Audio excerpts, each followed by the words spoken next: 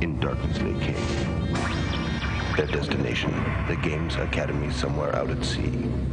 Their mission, to become games playing legends and to crack the challenge of Games Master.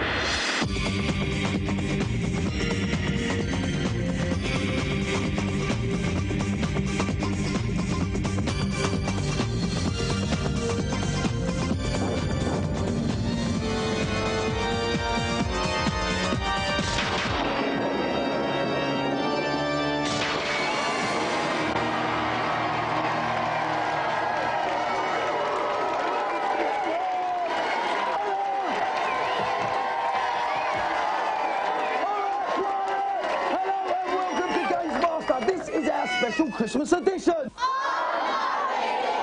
Oh, yes it is. All right, enough of that, enough of that. Right, we're going to take a break from the normal proceedings, i.e. we're not going to have the team championships this week. This week we've got three very special teams of celebrity panto stars. They're going to come in and play some challenges for us. They're going to be battling out for the famous Games Master Golden Joystick. Hey! Right then, so without further ado, let's get on and meet our panto stars. Over this way.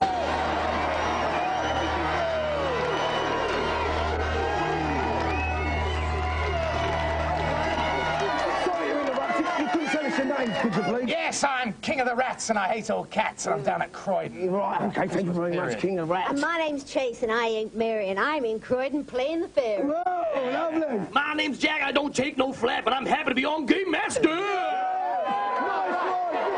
Yeah, thanks very much.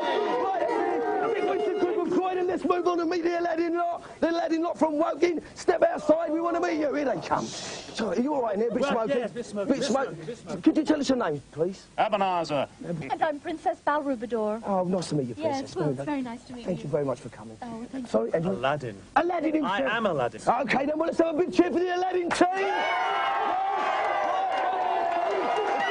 Team, get from Bath. This way. That's a bit more like it. Oh, boo, boo.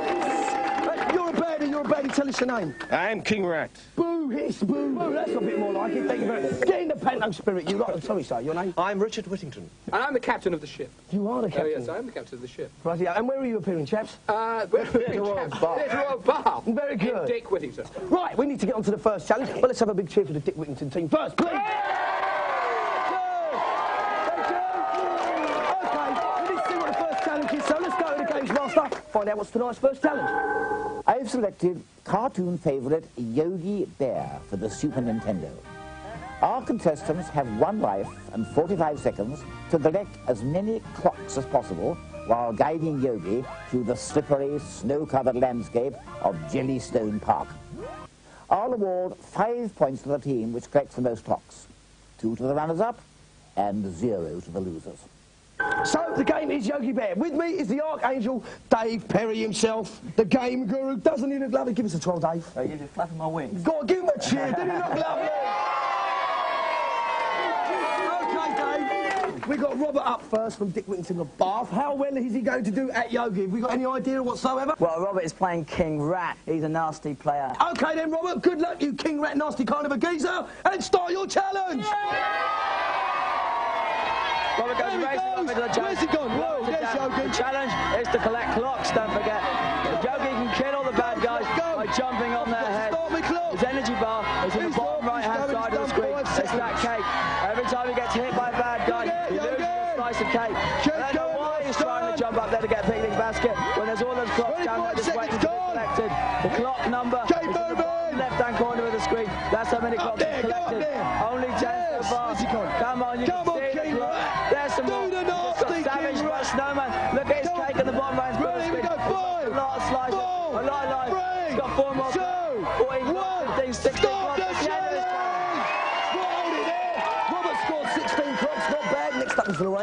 Lorraine. She's playing Ferry at Croydon. Dave, do we know anything about her skills as a computer game player? No, but we do know that when she turned up, she had nicer wings than me on her costumes. We've made her leave them outside, but we're hoping she's still going to work some magic on this game.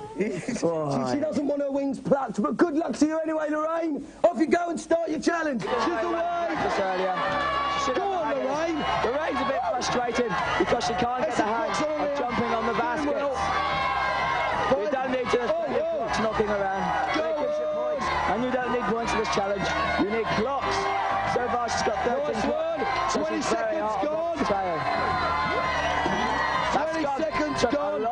energy away from the race. Look at her cake in the bottom corner of the screen. She's going to die. That's the end of her challenge. That's the end of our challenge. Lorraine Mason scored 13 clocks, not bad time. Next up is Graham. He's playing Aladdin at Woking. Dave, has he got a chance? Well, Graham's quite a good games player. He was hogging the machine in practice, and we're hoping he's going to show us some real genius. Okay, Graham, start your challenge. Good luck. 45 seconds. Okay, off he goes. He He's promise it down as well. He missed a couple of clocks back there. He's Come going back the other for way. Yes, there's a load Good of clocks back there. And he's got eight clocks wants to early on. He's already on the range He's tail. serious about his Games Master challenge.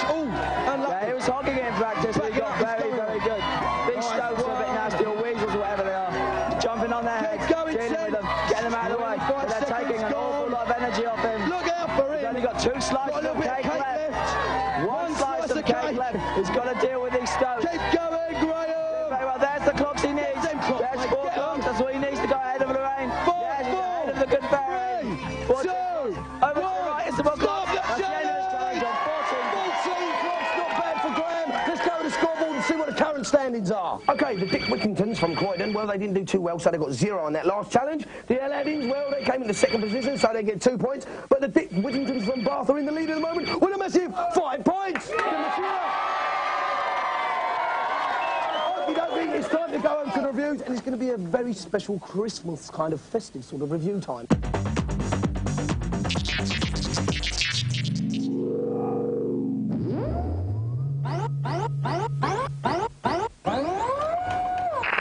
Um, I forgot what I was going to say. nah. Oh dear. A list of great games of 1993 can't go without Street Fighter 2 in it.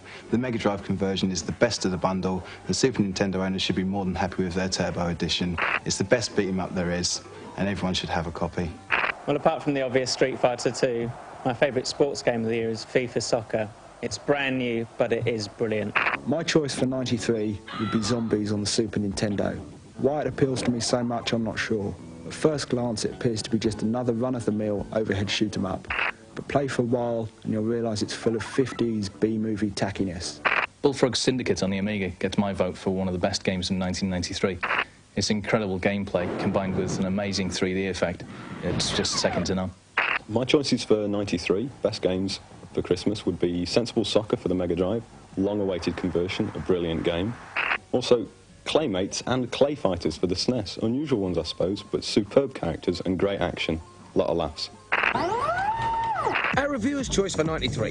And now, our new Room of the Future competition. Here at the Games Masters Academy, we have all the latest and greatest gaming consoles. So we're going to give you a chance at home to get your hands on some goodies.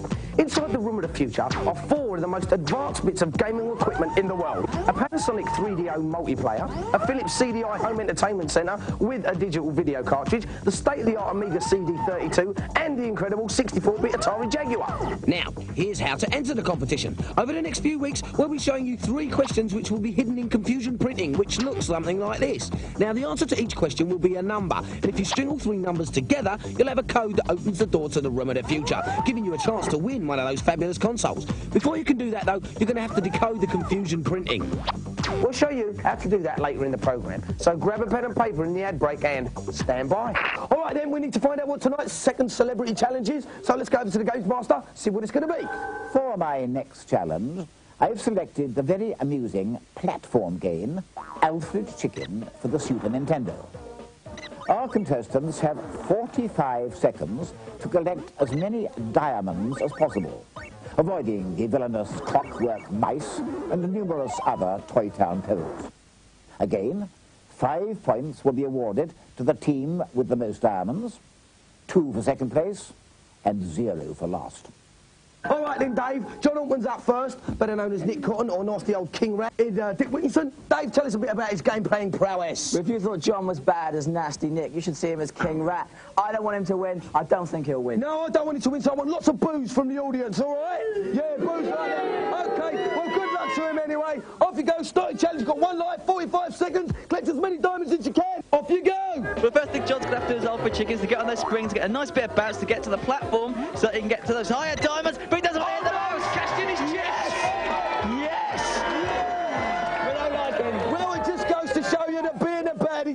Always pay off. No diamonds.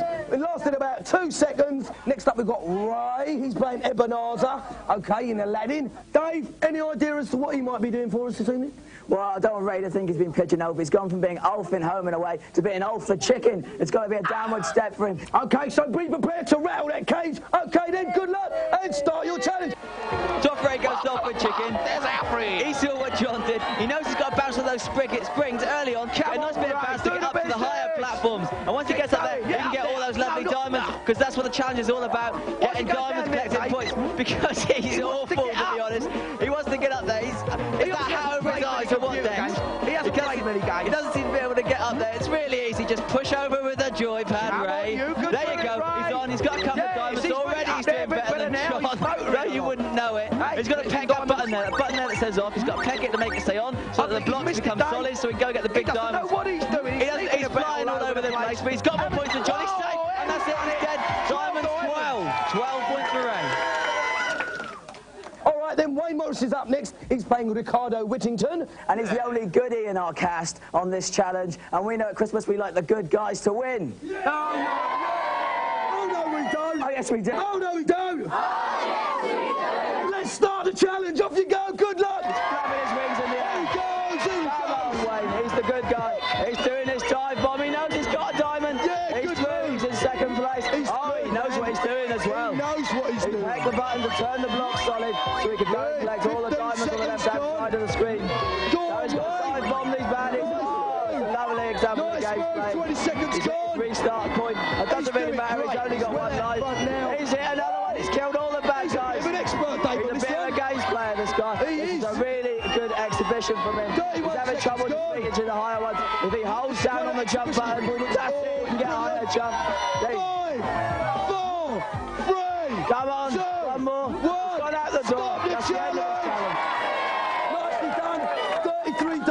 good impressive score by the goodie there. Wonderful. The goodie won at Christmas. That's Spot what we like to see. Let's go to the scoreboard, see what the current standings are. Okay, things ain't been going too well for the Dick Whittingtons from Croydon. They got none in the first challenge and none in this one. Makes a big zip on their scoreboard. Now, the Aladdins from Woking, they did a bit better in the first challenge and quite well in the second one. They've got four overall, but way out in front. Are the Dick Whittingtons from Bath, they got five in the first challenge, five in the next challenge. That makes ten, I think. Let's chat with the losers. Oh, dear. I am gutted, and they're going to be in for a lot of trouble tonight in the show. We're a lot of trouble for the show. Well, good luck with the show. Thank you very much for coming down. Thanks very much. All right, let's have a big cheer for the Dick Whittington team from Croydon. Okay.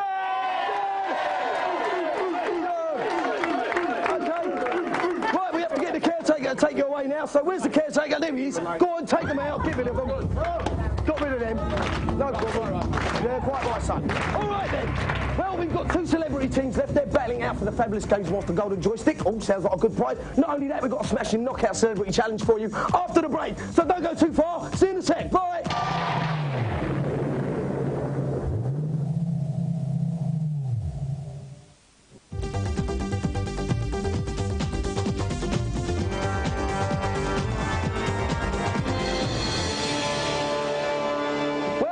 Festive bunch of little adverts there for you. Right, now in true Games Master style, we'll have a celebrity challenge. And we never let you down on Games Master. We've got a big celebrity for you. It's going to be a very exciting challenge. Please go absolutely mental for the man himself, the one and only Santa Claus. Go on, go. Let's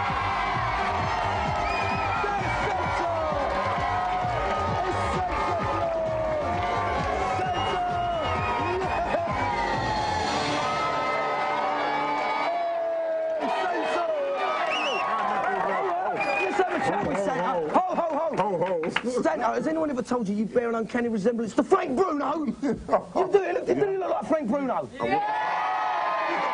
Santa, I I don't suppose you've got a computer at home yourself, have Um, you? the kids have, not me. No, Yeah. the kid- are you going to play a computer challenge for I'm us? going to try. Yeah? Yeah. Do you want to pick one of the kids out to play a challenge against you? Um, Who'd you, who'd you I, I think I picked my little girl, Nicola. All right, then we won't say that's biased, but of course we'll have Nick up here to play Frank. That's great. Come, Nick. Smile. Come on, Nick, jump up Relax, here. Nick. Come on down. Have you got a computer at home, Nick? Yes. You have what you got? Uh, Super NES and Sega. Look after yeah. your friend. Yeah, that's right. You Okay. look after me as well. Good, I'm sure she does. All right, then let's go to the Games Master. See Yeah. what your challenge is going to be, yeah, Nick? Oh, right, oi! Master! Our celebrity guest and his lovely young daughter will go head to head on the boxing simulation Greatest Heavyweights for the Sega Mega Drive. As Mr. Bruno knows, I'm only too well, the accuracy and a number of punches landed will give you the upper hand. But the damage inflicted to your opponent's head and body will count the most. My golden joystick is waiting for a champion. Well, it's a very festive game. It's the world's greatest heavyweights. We're going to see a bit of boxing action. What a surprise. Now, we've got Frank and Nicola. They're in the hot seats. Dave, what characters are they playing? Frank's going to be Joe Louis, the brown bomber. Nicola's chosen to be Muhammad Ali. And she's going to have to fly like a butterfly and sting like a bee if she's going to catch Frank, because in practice he was brutal. Right, well, there is brutal Frank Bruno up against his daughter Nicola. Good luck to both of you. And start your challenge. Off you go. Good luck. Seconds up. Well, Nicola's on the left. She's Muhammad Ali in the red shorts. Frank's on the right. It's Joe Louis in the silver Let's shorts. see what these two fighters can do. And at the moment, Nicola is pummeling her father. The energy bars to watch out for are on the bottom of the screen. The main red very bars. serious. If they go completely black, oh, i.e. there's no more red left, then you get knocked down. If there isn't a knockdown in this fight, it's going to go to a referee's decision. The other two bars that tell you how well they're both doing are the face and the body bars on the bottom. As you can see, the white bar moving down the face. Look at Frank Bruno's face, Joe Louis' face. It's very, very low. He's taken a lot of head punishment. And that's going to dictate a ref's decision at the end if we don't get a knockout. We want to see a knockout. I think Nicola's going to be in a lot of trouble when she gets home because she is pummeling her father. The more Frank tries to get back into the fight, the more she lays into him, the more damage she's doing him. It's going to go down. Oh, Frank Bruno with a chin, two on the chin. Nicola Bruno's way. That's the end of the fight. That's the end of the fight. No knockdown. It seems that the judge's decision has gone Nicola's way, doesn't it, Dave? Why is that then? She was the more aggressive fighter. The judges like that. They've given her the fight. She had the bigger punch at the end of the day, basically, is what they're saying. So let's bring them both back on stage and award the prize.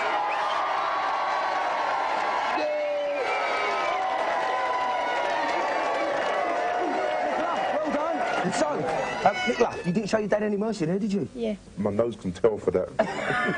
Looks like it's been squashed, splattered all over your face. Thanks very much. I'll buy you a drink. Thanks very much, Frank. so I didn't mean to be rude. Right then, well let's award the golden joystick to Nicola. Well done. Bring on the joystick. Timing is the sunshine There you are, Nicola. Hold it up aloft. Everyone give you a big cheer. Well done. Thank you very much to all of you, the Bruno family. Cheers, Nice. Thank you very much. Good fun. Okay then, right, we're going to nip off to the consultation zone, see if the Games Master can help some people out. See you in a sec.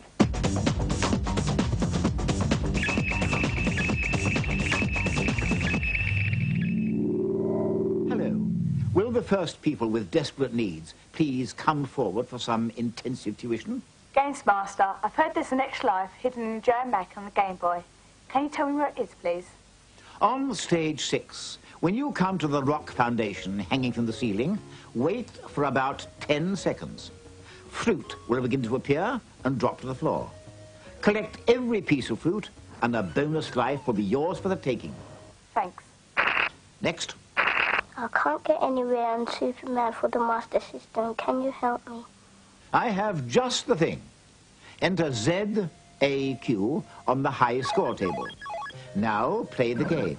If things get a little too frantic for you, hold down both buttons and you'll be transported to the next level without expending any hmm. extra effort. Oh, thanks very much. I feel much better for getting all that off my chest. I'll be back. Okay, now the Games Master sorted out that useless lot in the consultation zone, we can get on with our final challenge. We've got two teams left. We've got Aladdin and Dick Whittington. So, the Dick Whittington team, how do you think you're going to do on this last challenge? We're going to win. You're going to win. There you have it from King Rat himself. And what do you think of this other team then? What do, what do you think, Abanazar? Rubbish. Absolute rubbish. We're going to win like we always win. Well, they don't seem daunted by that at all. Not done terribly well already. I did particularly well. He did particularly well there, have you know. Thank you very much.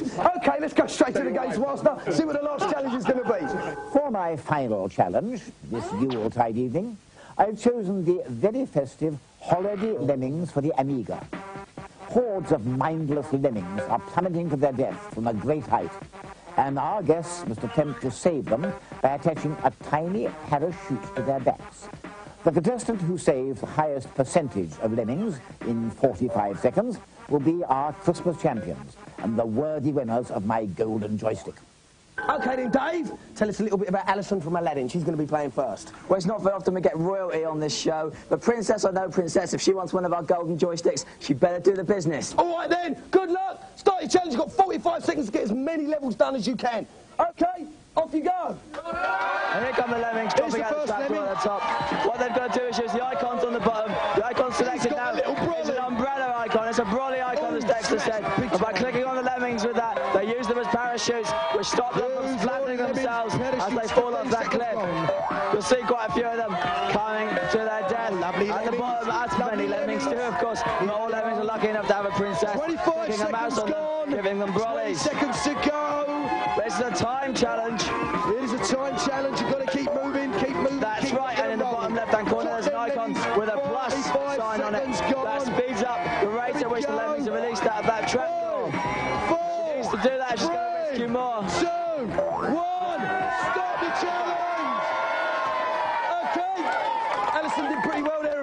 there with Aladdin. She got 45%. Next up is Robin. He's captain of the ship. Dave, tell us a bit about his game playing prowess. Well, Robin was worried about this challenge. He's practiced more than anybody and he's become very good at it. He's only got 45% to beat, but I want to see him get about 75%, or we'll talk to his producer and have him turned into the cabin boy. Start your challenge! Go! The Here clock's the running! out of the trapdoor. Robin knows this game. There we go. He's got the first lemming. Giving him the brolly. He's got two lemmings. 100% record so far. And he's really very, very good. He hasn't got a lot of lemmings to get to beat Allison. It'd be nice in a minute once he knows the score's safe to see him open up that trap door. 20 seconds the plus sign in the bottom left-hand corner of the screen. And really go for the full going for it now. 100%. It's brilliant. As close to it as he possibly can. That's it. He's doing really well. Doesn't look like it's any problem for him whatsoever. He's doing really, really well. Usually very tricky game, Lemmings. This is quite a simple challenge, but it is a challenge that requires precise timing as those lemmings pass through the crosshair. Four, three, two, one. Robin, stop it. Stop your challenge. 60% and very impressive score. Well done. Give him a big cheer.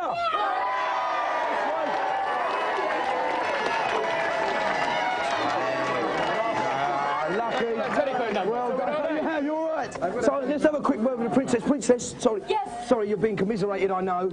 Obviously, I didn't win, but, you know, it, I had fun playing the game. You did, thank you I very did much. have fun Well, playing that's the the game. main thing. And I hope we see you at Christmas. I'm sure you will. Thanks very much. Good luck with the show and everything. Yes, thank you very much. So, Captain, Captain. Yes, matey. So, uh, matey. Matey. It all went all right for you there, didn't It it? certainly did. Hey, watch it, you. Yes. Well, it went very well. It did? I had a shaking finger, but I was all right. That means you've won the fabulous Games Master Golden Joystick. Here's the caretaker.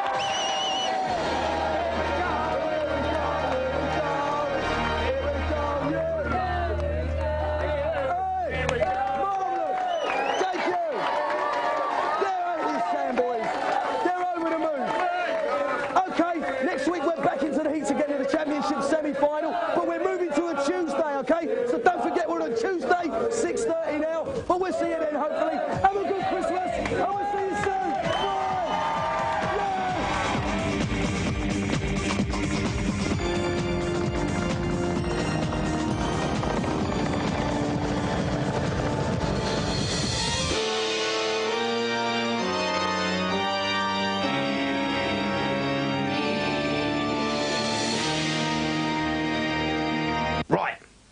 Here we are in the Games Masters Workshop to show you how to read that confusion printing and answer the questions in our Room of the Future competition. The only way to decode the writing is by looking through something red. And young Daniel here is going to show you how to make your very own decoder.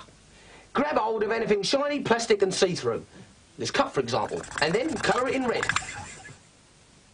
Just get an old plastic bottle or package and then cut round the bottom and then colour that in red. It'll do. You could even use cling film. Just get yourself a bit, then get a bit of cardboard, cut out a frame, stick the cling film onto the frame, then colour that in red. Of course, if you've got a bit of red cellophane hanging around, you could always use that. Alternatively, if that seems like too much hassle, you could always use one of these Games Master red monocle things. It's free with Games Master magazine, available everywhere, 195. Whatever you do, make sure you've got something red for next week's test question. The week after that, the competition starts for real. Good luck. Say goodbye, Daniel. Bye, Daniel.